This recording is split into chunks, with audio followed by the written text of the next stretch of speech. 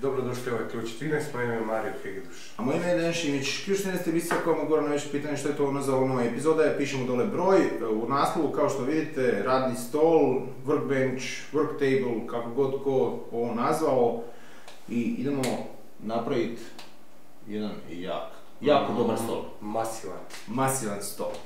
E, konstrukcija primjenjiva za sve ostale stolove, ne mora biti radni stol, znači isti princip važi za sve ostalo. Idemo.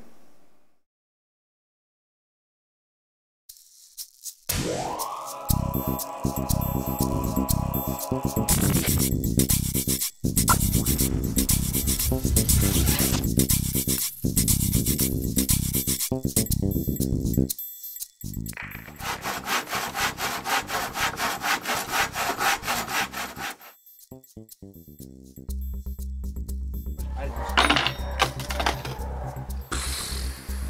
bolje. Ajo. Hoću to objasniti ili neću? Pa mislim, Ili ćemo ovo objasniti? Idemo sve objasniti. Ajmo se objasniti, ajmo ovako.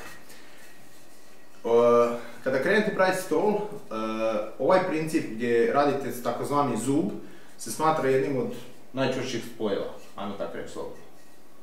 Možda nije najčvršći, ali je, Ali je, drži, drži vodu samo tako. inače prije je bio na onim bračnim krevetima. Da. na starom bračnom krevetu se ovakav spoj nalazi. E, većina ljudi ovo pokušava napraviti sa pilama, komplicira sami sebi život, kompliciraju s ovim i postoji jedan način kako se ovo može napraviti puno, puno, puno brže, točnije i lakše. E, I sad ću vam pokazati šta u stvari trebate obratiti pažnju kad krenete praviti ovakav zub i šta vam u stvari generalno treba od alata. Glavni alat za ovu priču je Znači, rijetki setnici koji imaju glodalicu, da, jedna glodalica dobra, ručna ovi što nemaju radit će dalje sa pilom, opet dobro. i opet dobra. Pa, Evo, e, sada kada krenete sa glodalicom ovo praviti, prvo da objasnimo kako smo dobili u stvari dimenziju zuba. Znači, isto je dosta jednostavan trik, živa matematika, ništa posebno. Daska je konkretno 28 mm. E, kad ju prepolovimo, znači dobijemo centar. Izvadimo iz svoje garniture glodala ili glodalo koje imate najveće, e, ne preporučujemo da to radite da ovo bude debljina nekih 12 mm, znači neka bude nešto malo masivnije i deblje. Kod nas je, ipak držat konstrukciju. da, drži konstrukciju, ko- 16 se 16. 16 je glodalo u pitanju, znači mi smo gledali to da dobijemo da je zub debljine 16 mm. I tu je taj trik. Da, i Znači, tu vam je- širina glodala je Određuje- širina zuba. Određuje širinu zuba. E, koliko ćete skiniti sa ovih strana, automatski samo da dobijete da je zub u centru 16. Evo, to je cijela matematika, znači ništa više. E, da li ćete skidati i sa ovih strana, znači sa ove dvije strane, to je s- malo proizvodno ako hoćete, ne mora se, ali je poželjno. Znači može se i tu skinuti i lakše, jer isto nije problem neki. E sada, kada uzmete e, pravi taj zub, pogledajte dobro što smo mi napravili u videu. Mi smo stvari sebi napravili šablonu s kojom ćemo raditi. Znači, e, napravili smo si da ne možemo pogriješiti i da konstantno ponavljamo. Jer kad gledamo konstrukciju stola imamo dvije poprečne, dvije uzdužne, U biti ovo, non stop sve se ponavlja. da, sve, sve vam se ponavlja, kompletno vam se konstru- konstrukcijski ponavljaju ti zubi. I u principu radite sve četiri daske odjednom. Uopće ne pokušavate raditi jednu po jednu. Znači spojite ih, stegnite ih stegama, postavite graničnike, znači napravite sami sebi šablonu da glodalica ne može nigdje dalje otići nego samo da skine taj zub. Točnije da oblikuje taj zub. I ništa više ne treba raditi. I protrčite s glodalicom s jedne strane, okrenete s druge strane, kant okrenete ko što smo mi okrenuli i napravili zubić do kraja. Evo, i dobijete generalno zub. E, Kada dođe do toga da idemo praviti gdje će on ući u nogu, znači u samu gredu, da, tu isto smo izračunali, aha, tu želimo da legne, znači način kako, kako želimo da se postavi. Glodalica opet napravili šablonu, jer moramo ponavljati na četiri noge, opet se ponavlja, glodalicom protrčali. E, puno će ljudi reći sad kako ovo zaobliti pravilno vamo tamo. E, najobičnija brusilica, ništa posebno, može se i sa rukom, švirglu papir, ista, ista stvar je, isti princip je. Znači, dobro pogledajte, mi smo u principu samo vrtili dok nismo zaoblili jednu stranu. I onda vrtite malo drugu i zaobliš. Poslije, čista sila i Da, jer kako će on ići jako na knap unutra, u sam otvor, nema potrebe da se trudite, nije, tu nije cilj da on ono fino, sad može se ući, izaći, ući, izaći kako vi hoćete, nego tu cilj da on jako na knap uleti unutra i kad bude uletio se malo ljepila, nema šanse da ga izvadite više van. Evo, to je što se tiče kako napraviti zub. Vrlo brzo i vrlo jednostavno. Je Da, ona mi je šablona. šablona pokusna daščica. to, to smo isprobavali.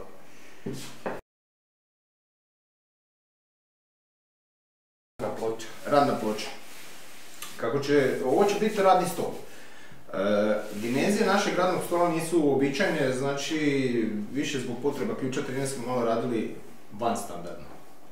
Dosta van Na papiru nije djelovalo. na papiru izgledalo manje. E, drugim riječima, za one koje zanima, e, stol koji smo mi napravili je metar e, 25 sa 2 metra. Znači onako dobra mrcina. E, generalno, radni stol, inače standardna dimenzija vam je recimo 2 metra sa 80, 2 metra sa metar maksimum se radi. Znači to je neka, ajmo reći, standardna mjera, ne ide se dalje odatle. Mi smo radili metar 25, pa evo, vidite da je stol za Pingić. Pingić, stanu četiri polutke gore. za klanje. Da. Stane ovaj čobanac, ne u kotlić, nego u kazanu. Generalno stane dosta toga. E, I sad kad dobro pogledate, e, mi imamo, pošto su, teško je naći ravnu površinu, dobru površinu, u pravilu bi se to trebalo spajati 5 cm daske, blanjati, prolaziti kroz, ne znam, strojeve, ovo ono, da vi dobijete savršeno ravnu površinu, da dobijete debelu, da ona bude čvrsta, da se ne pomiče, da se ne savija. I sad, to je malo teže za nabaviti i s druge strane malo teže za izvest. Onda uvijek možete pribjeći na trik koji smo i mi napravili. Znači u pitanju je jedna bla, e, blažuj- Blažujka. blažujka. E, Kada smo je kupovali, naglasili smo trgovcima da nam treba tvrđa, znači nećemo, jer postoje vam mekane verzije, postoje topola i tako dalje, mekane verzije. Nemojte uzimati zato što će vam, e, prebrzo ćete ju udubiti, na malo jači udarac čekićem odmah će nastati udubljenje i tako dalje. Znači tražite tvrđu, postoje tvrđe verzije. E sada, mi smo htjeli staviti 21 mm e, OSB-ku, Ali nije bilo. nema, Po običaju. da. I u principu e, išli smo na stari, stari dobar trik, stavite vašu blažujku, drvo fix, ljeplo za drvo, mačak, Malo ga raširite. razmuljate, raširite, poklopite sa OSB-kom i sa iver vicima stisnete da to drži jedno za drugo. Dodatno. Da. Obavezno radite pred rupu, e, više zbog toga da vijak što kvalitetnije stisne i povuče jedno za drugo. Znači nije cilj ovdje da mi se mangupiramo sa pred rupama, nego više zbog toga da vijak, e, da navoj vika vuče i stisne to jako. E, I normalno spojite OSB-ke, u našoj situaciji su bile dvije polovice, OSB-ke stisnete, ostavite da se osuši i dobili ste izuzetno tešku I Znači, ravno. i ravnu površinu Sad se ne savija. i ne savija vam se i neće vam se saviti i tako dalje. I kao što smo rekli, e, izuzetno je teška, znači već sama po sebi osjetit ćete da je velika masa i da kad stavite na osnovnu konstrukciju stola ne mrda. Dodatna stabilnost. Dodatna stabilnost. Jedino što više nije prijenos. da, nema transporta po radionisti. jel?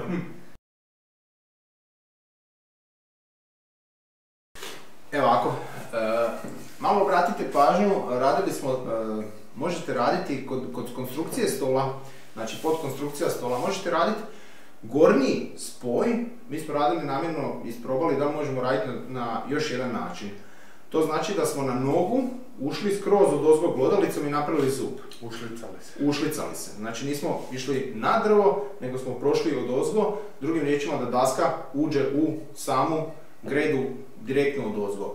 To možete raditi samo u gornjem spoju, možda će nekima e, biti puno lakše i zgodnije to da naprave, malo neka paze da kad uđe do kraja, da gornji brid se poravna sa gredom, tako da kad stavite radnu površinu da to bude 100% sve jednako leži.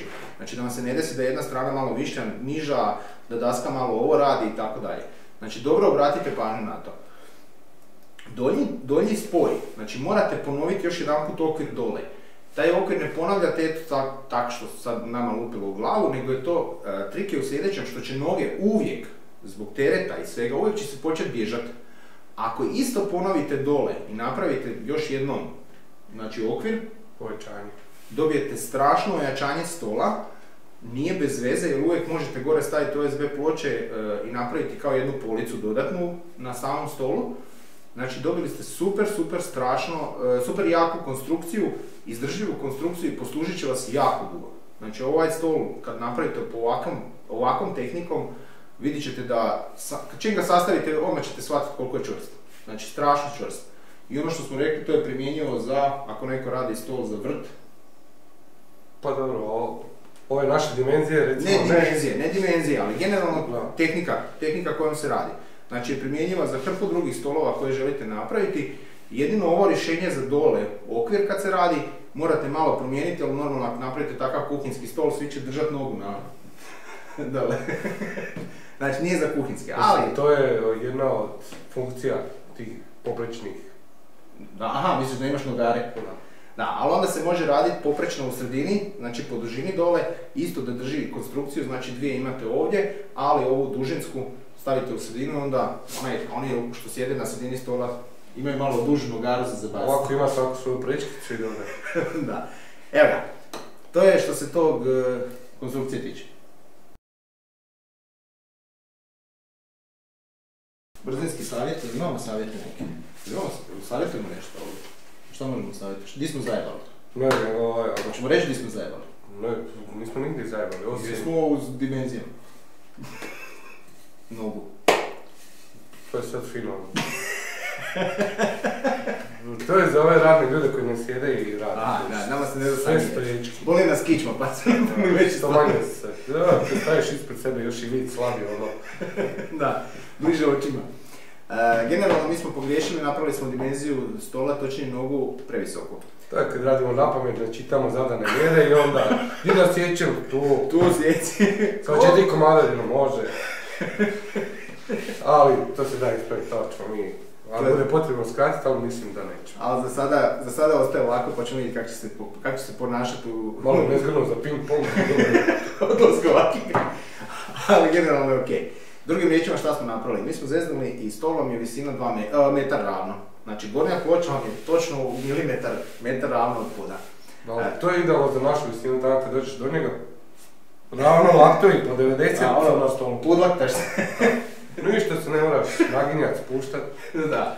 E, generalno ako neko ide praviti visina nogu mora biti e, minus, znači 80 mora biti konačna visina, a znači oduzimate samo od debljine e, ploče radne koje ćete dobiti, recimo kod nas u situaciji 4 cm, znači 76 vam mora biti odrezana greda. A mi smo rezali 96 plus 4 cm dobijete metar. Iako meni za tak radne stole je neka idealna visina 90 cm. Pa i 90 bi trebalo biti da je isto. Znači tu negdje između 80 i 90 da se nađete, to je sve ok. To je naša jedina i greškica, pa eto tako je ispalo Vi- sada. Prilikom... Za ovaj posao vas treba biti minimalno. Minimalno dvoje. Da, do ovdje stvarno imat ćete, preteški su komadi, pogotovo kad sastavite konstrukciju, kad sastavite radnu površinu, stvarno vas treba biti dvoje. Nećete moći sami to podići, super su teška, super teško A, postavljaju. treba iz dvojice za sa- sastavljanje. Da, isto dvojica treba da drže, Da smo radili od topole, koje je lagano drvo, možda bi ja mogao sve sam. onak. Ali evo, kuma mora pomoći, šta da kažemo. Generalno, dosta jednostavno, dosta e, brzo se može napraviti. Mi smo potrošili, problem je kod nas bio što smo puno čekali neke materijale. Ali generalno, vremenski, ako smo imali 12 sati, to je puno. Do tako? Tu negdje smo. Na 12 sati sve skupa rada. Sumnjam. Manje još. Da. Eto, samo imate ideju. Jako brzo se napravi, upravo zbog toga što idete, ajmo reći, industrijsku šemu šljakati. Eto. To je to. To je to. Hasta la vista, čujemo se, vidimo se, sljedeća epizoda uskoro. Maybe, maybe. Maybe baby. Doviđenja.